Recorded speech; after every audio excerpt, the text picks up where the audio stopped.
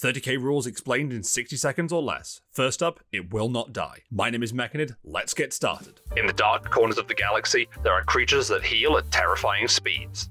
This rule appears on all Primarchs, some monsters and vehicles, and even infrequently on Terminators. This rule grants any models with it a healing effect. At the end of each of your turns, roll a d6 for each model with this rule, and, on the number listed on the unit's sheet, they regain a wound or hull point. So, a model with a 5 plus it will not die will regain a wound on the roll of a 5 or higher. What this means is that your models will need to be hit and wounded, but not killed, as this rule will have no effect on units that have been removed as a casualty. This rule can also be improved by the Sacred Trust special rule from the Primus Medicae, allowing you to re-roll the failed It Will Not Die roll, giving you a second chance to heal up your lads. Overall, I'd say this is a fun and fluffy rule, but it is far from the most impactful rule. Most It Will Not Die rolls trigger on a roll of a 5 or a 6 plus, meaning they will rarely come into effect. I would advise you to not rely on this rule to sustain your models, even if it feels great to get back a wound and to invalidate the damage your opponent just did to it. Stay tuned for more.